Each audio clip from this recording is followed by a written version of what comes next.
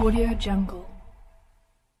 Mau ke belakang juga bisa. Mereka harus main pick berarti kalau untuk tim GPX sampai war yang gede-gede terus. Betul. Jangan sampai ke ya ke gap lah untuk di awal-awal ya. Hmm. Oh, mau coba melakukan sesuatu dari Fredo Cute maju ke area depan, ngerusuk ke area jungle, tapi LG selalu sigap untuk melakukan backup terhadap tas Didi. Di area jungle masih ngotot dari Fredo Cute. Wah ini nih yang ditunggu setup momennya sih. Kemarin tuh LJ bikin momen banget beberapa kali. Dengan mungkin awal-awal dia tuh masih pemanasan, masih belum panas tuh kayak ngecek Taren Revenge-nya, ngecek ombak kali. Dengan mungkin awal-awal dia tuh masih pemanasan, masih belum panas tuh kayak ngecek Taren Revenge-nya, ngecek ombak lah. Tes tes air, tes air. Tes air makanya. Ya kalau Kufra dapetin satu dua momen itu apalagi di late game cukup banget sih. Iya makanya. Dia kan hero hit or miss kan. Dia makanya tinggal tunggu momen aja, jangan terlalu terburu-buru. Apalagi memang apa ya memaksa untuk di early kayak dapetin Tyrant Revenge yang ke banyak hero gitu itu juga nggak terlalu bijak menurut aku. Nah, tapi sekarang kayak Fredo Cute nggak selesai-selesainya untuk nempelin tas di, di orange buff-nya di reset. Bisa dan ini loh. bakal bisa first blood? No, sebelumnya nggak bisa dikeluarin. Dan ternyata ini orange buff-nya ke reset. Waktu farmingannya tas Didi pun makin panjang lagi. Di reset lagi. Gara-gara satu Fredo Cute loh. Iya. Habis itu nanti dia bakal nungguin si tas didinya nyampe terus di reset. Oh enggak, enggak reset ternyata. Nah, itu sayang banget.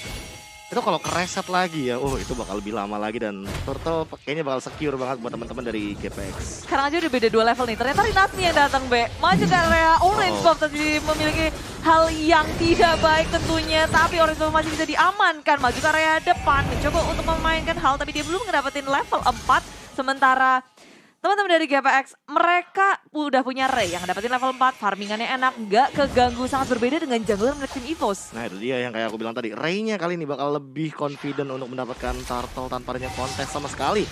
Klaukun udah terkena sedikit poking damage yang lumayan tinggi ya. Kalau misalkan ngelihat dari segi-segi apa ya, segi-segi ah, poking damage-nya tentu bakal kesulitan dari teman-teman tim EVOS Icon. Karena mereka tentu bakal kalah dari segi setup-nya terlebih dahulu. Pendragon juga dalam ancaman, Falling Star Moon pun digunakan, Purify ke trigger dan bahkan dipaksa untuk mundur kali ini. Oh ya, ya, ya. Dan GPX Evolve lagi dan lagi menit-menit awal mereka menghindari peperangan, menghindari melakukan pick off yang berlebihan. Sementara point kill masih 0-0, sementara GPX networknya bagus banget untuk awal-awal. Karena pergerakan dari Fredo Cute yang terus menerus tapi di area bawah. Black Shoes dikeluarkan, Awat Super Supriyadi bakal melakukan counter inisiasi kah?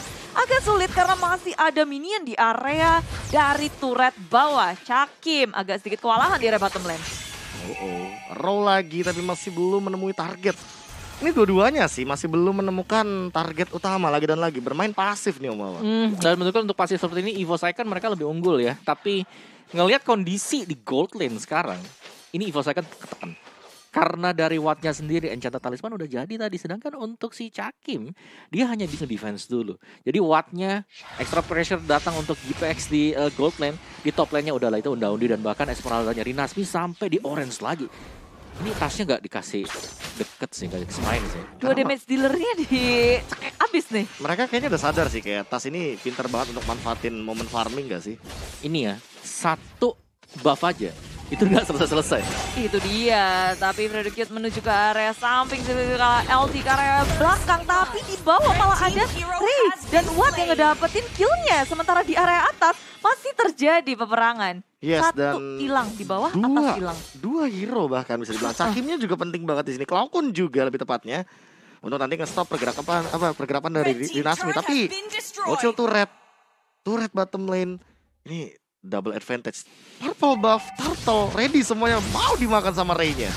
Ya, maju ke dapat tentara race mengenai satu saja LG terlalu depan kalau damage terlalu terlambat dan GPX mereka akan nge-raid ke area jungle purple buff milik tas Didi nggak akan bisa diamankan dan GPX permainan agresif inilah yang dipertunjukkan kayak mereka nggak berhenti intinya nggak kasih nafas sama sekali sementara tas Didi dia cari kesempatan lain masuk ke area jungle milik tim GPX dia sadar oke jungle gue nggak aman mending ke jungle lawan Oke, tapi kali ini melihat lagi dan lagi turtle akan diamankan oleh teman-teman dari GPX tentunya yang tidak akan dikontes sama sekali. Tidak akan kesulitan tentunya bagi teman-teman dari GPX menghadapi hampir keseluruhan 60% mapnya yang sudah dikuasai oleh Iya. mereka dari awal bahkan. Ya dan bahkan ini Ando ya, ini mid laner Selena loh, bukan roamer. Pro lagi connect ke arah Cloud-Kun dan bahkan mencoba untuk mencakar-cakar di depan LG juga dalam ancaman Falling Star mau digunakan. Terbelakang trapnya juga dan bahkan Tyrant Rage tapi tidak follow up damage sama sekali LJ. Tumbang lagi Rinasmi mendapatkan poin killnya kali ini di bagian jungle. Oh, wow, wow. GPX 4-0 poin kill yang terjadi dan sementara di area tengah Cloud-Kun mendapatkan Eh. pundi gold dari GPX pula dengan dapetin satu dan Abyssal Arrow-nya connect Ando dengan bahagianya menjemput kematian dari Tas Didi. Ya ini menurutku dari Evo Icon sih, mereka udah kemakan gameplay dari GPX. Terlihat bahwa bagus banget GPX adalah pressure mereka ke arah dari si Tas. Tasnya gak dikasih main sama sekali, maupun dia bisa dapetin XP, dapetin goldnya, itu telat. Dan jauh banget pasti dari sisi gold buat Tas ini. Pendragon apakah mampu kali ini mengubah keadaan? Tapi kayaknya enggak bakal cukup karena row-nya lagi arah belakang. Falling Star menggunakan Dinasmi dalam ancaman di depan LJ Tyrant Rage tidak kena karena siapa pun kali ini Pendragon. Masih berdansa di depan mencoba untuk memberikan atau menahan dealing damage dari keseluruhan member GPX tapi kayaknya nggak cukup.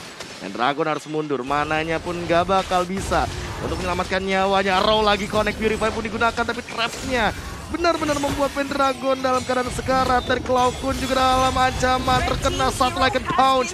connect lagi kill point lagi. 7-0 Pendragon mencoba untuk mundur tapi kayaknya dia nggak bakal bisa bertahan lebih lama lagi. Kalau seandainya dia masih mau fight di Land of Dawn. Wow, beberapa sangat panjang di area mid lane. Sementara Evo bilang begitu banyak dari membernya dan Cakim. Dia cari cara nih apa yang bisa dilakukan? Nge-trade satu trade di area atas sementara teman-temannya bertahan di area mid lane.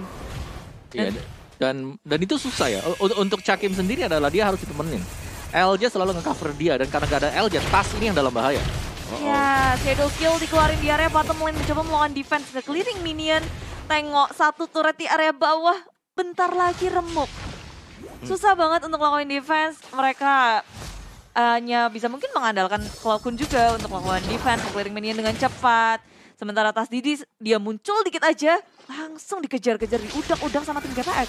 Iya ini permasalahan utamanya adalah Tas Didi tidak mendapatkan space farming yang berbeda seperti di game yang pertama ya 11, kita ngomongin 9 Iya. levelnya. Ray sama, Sama. Tas Didi. persis Ray-nya dapetin semua hal Tas Didinya nggak dapetin apa-apa gitu loh Gimana mau dapetin apa-apa? Ambil orange saja, colek orange saja. Gak kelar-kelar tuh, ada lagi Fredo. Asli. Circling Eagle langsung. Wuh, rusuh banget Fredo. Dia bahkan pede sepede gila ya Satu dia di depan. loh. dia nggak dapetin informasi apa-apa tapi Taran Rage-nya connect ke depan sana kali ini LJ mendapatkan serang Ando. Ando tumbang akhirnya pecah telur dari teman-teman Evos Icon. Pendragon juga dalam ancaman kena efek slow tapi ternyata tidak bisa dihindar lagi. Damage yang begitu besarnya dari seorang Ray dengan Icon Punch. Killing spree pun diamankan kali ini LJ coba untuk melakukan sesuatu tapi kayaknya nggak bakal bisa karena tidak ada follow up damage di depan sana Ya, Tyrant juga udah dikeluarkan, resource skill-nya nggak ada. Sementara dari tim EVOS benar-benar terhimpit. Maju ke depan, surprise Eh? attack dari? Fredo cute. Dia punya flicker, dia punya segalanya, tapi nggak dia gunakan dan... sayang flicker sayang flicker Oh sayang flicker, nggak cuma sayang ini ya, sayang anak ya. Hmm, biasanya romer-romer tuh punya pola pikir kayak gitu tuh. Nggak mau ngeluarin flicker, sayang flicker bahasa. Tapi aku mau nonton MPL, Be.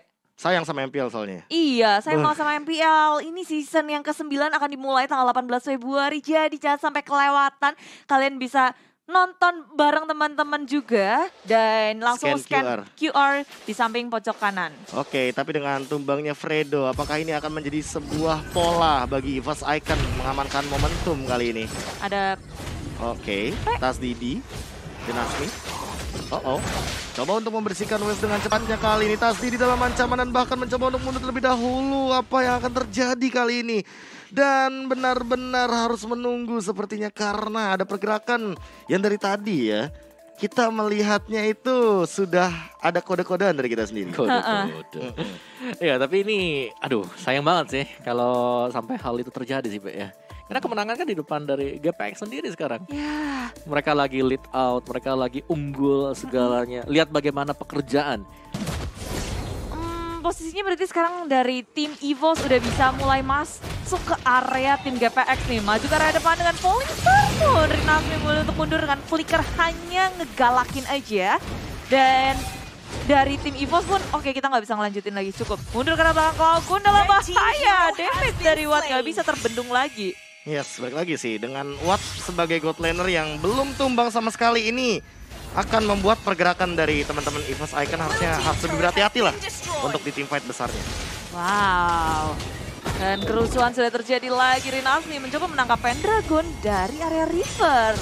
Dan Pendragon hanya menjaga jarak aja Ando. sementara di area depan Tyrant Race mengenai Under di area depan. Dan sedangkan dari LG-nya mulai dikejar, mulai diudak-udak, flicker digunakan. Tapi tak bisa kabur ke mana-mana lagi. Ray mendapatkan level 14 begitu sakit dibandingkan dengan Pendragon yang baru level 10. Damage yang tak tertahankan oleh Pendragon dan Ray. Begitu mendominasi level 14. Oh, oh, tapi Fredo kayaknya bakal mendeteksi Uh-oh. sedikit di sini. Eh? Wattnya sadar banget kalau tidak ada member di sana. Uh-oh. Sabar. Tapi sneaky Pikitas apakah dia bakal kelihatan di sini? 17 ribu darah tersisa.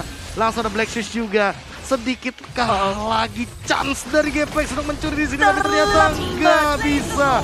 Evos Icon tidak melakukan apa pun sama sekali. Tas Didi juga tidak muncul dan kali ini baru kelihatan. Matilda dari Fredo Kitty langsung Uh-oh. mencoba untuk memotong pergerakan yang dilakukan oleh Tas Didi. Mana circling eagle-nya? Apakah bakal langsung diloncatin? Enggak sepertinya karena ingat masih ada Shadow Kill juga dimiliki oleh Tas Didi. Wah, aku pikir itu bakal jadi pencurian Lord terepik di menit 11. No info sih tapi. Susah sih. Iya sih. Kalau maju lebih resiko dia tumbang, Mhm. Lordnya hilang. Tapi ya itu itu dia. Kalau pencurian Lord adalah high risk high reward. Tapi ini Mhm. fun fact untuk Amat Super Supriyadi. Dia tuh pas di sebelum di match sebelumnya itu ngedapetin triple kill loh. Yes, dia yang game changernya. Dia ngebawa Gapek Show untuk bisa menang dengan cukup cepat juga. Oh, Taran Rex tapi tiba-tiba sudah digunakan. Dan kali ini apakah akan ada perubahan sedikit? Enggak kayaknya langsung terkena sedikit pergerakan di depan sana Taran Revenge. Tidak menyelamatkan apa pun dari LJ LJ bakal tumbang begitu juga dengan Pendragon Monster Kill. Dia oleh seorang Ray dan masih mau lebih begitu saja di arah bottom lane-nya. Awat dan kawan-kawan mencoba untuk mendorong minion yang ada. Ando juga melakukan tugasnya yaitu adalah menghancurkan turret di bagian bottom lane Klaukun tertangkap dengan Abyssal Arrow yang dimiliki oleh Ando. Falling Star Moon juga masih dimiliki oleh seorang Rinasmi dan Cakim. Dia tertangkap di depan sana. Tidak bisa berbuat banyak tapi Awat juga ditumbangkan. Belum sempat untuk menggunakan sepatu hitamnya. Black Shoes-nya tidak menyelamatkan hari dari Super Awat Supriyadi. Dua inhibitor hilang dan pada akhirnya awat tumbang dan membuat GPX mulai mundur. Tapi tengok GPX mereka dengan satu Lord itu Lord menit 11 bisa ngedapetin dua inhibitor. Ya, dan itu udah lebih daripada cukup sih bisa bilang ya. Karena ya mereka udah selain daripada kasih eh, pukulan seperti itu, mereka udah pegang kondisi dari Matt Pricer sendiri. Untuk GPX ini Eh. tinggal dikotakin aja. Kayak mau dibales deh, mau di counter inisiasi, mau dipunish dari tim GPX yang Evos maju ke area depan Ando. dari segi LG belum ngeluarin Tyrant the Race, Tyrant Revenge masih ditahan tapi Tas Didi gak bisa berbuat banyak. Cakim tuh terlebih dahulu tanpa adanya backup. LG dan mereka memilih buat melipir kabur. GPX begitu galaks. Ya, tadi sih satu Lycan Pons langsung menumbangkan ke arah Cakim karena balik lagi Cakim belum memiliki item defense atau bahkan item eh, immune dari Wind of Nature salah satunya yang mampu untuk menyelamatkan nyawa dari seorang Clint ketika dikejar oleh Roger. Oh, udah susah banget ya. Tapi kalau misalnya dari EVOS bisa nahan-nahan terus, Mhm. apakah mereka masih punya kesempatan? Em, kalau ngelihat dari draftnya, iya masih bisa. Apalagi di sana ada Selena ya. Buat Ando sendiri yang pasti akan fall off masuk ke late game. Dan tim GPX, mereka akan terus-terusan dong ngepres kayak gini dan make sure bahwa ini adalah game mereka karena gak kasih nama sama sekali dari tadi. Dari snowballingnya Ray juga gak terhentikan. Dan selalu dijaga dari segi laning yang gak dibiarin buat lebih dari River nih. Oh, si Halbert, Last Didi. Apa yang mau direncanakan kali ini tapi ternyata terkena Cycling Eagle dan tidak bisa bertahan lebih lama lagi karena dia makan lele kali ini Tas Didi bakal restricted untuk 35 detik tanpa adanya retribution dan sepertinya Lord akan diikhlaskan Harus. bagi teman-teman EVOS Icon. Ya harus diikhlaskan karena tanpa retribution mereka kalaupun harus melakukan fight di sana akan rugi banget. 4 lawan 5 kondisi gak baik-baik saja untuk EVOS Icon dan ya pada akhirnya untuk GPX sendiri mereka tinggal ke zone out seperti yang mau bilang tadi. Main sabar, the zone out, nunggu lordnya. Bahkan untuk lord yang Iya, ketiga juga gak ada masalah. Ya, sementara itu di area atas, Aduh. Awan buying time bagus banget. Dia nggak tumbang, malah sekarang di counter inisiasi Evos memakan damage begitu besar. Satu persatu muncul, tapi dari walaupun pun gak bisa kabur ke mana-mana lagi. Terlalu besar, tak terbendungkan dari tim GPX. Oh my god, ini Abyssal Arrow benar-benar mengacak-acak teman-teman dari EVOS Icon. Mereka tidak bisa menempatkan satu kesempatan sekalipun untuk lolos dari serangan gertakan Abyssal Arrow-nya Ando. Bahkan perlahan-lahan Pendragon mencoba untuk menahan semua dealing damage yang dirasuki dari GPX. Tapi ternyata apakah itu cukup-cukup ternyata. Pendragon tapi nggak bisa menghindari arrow yang tidak bisa dihindari lagi daripada seorang Ando. Dan langsung menuju ke base. Satu sama sepertinya kita dapatkan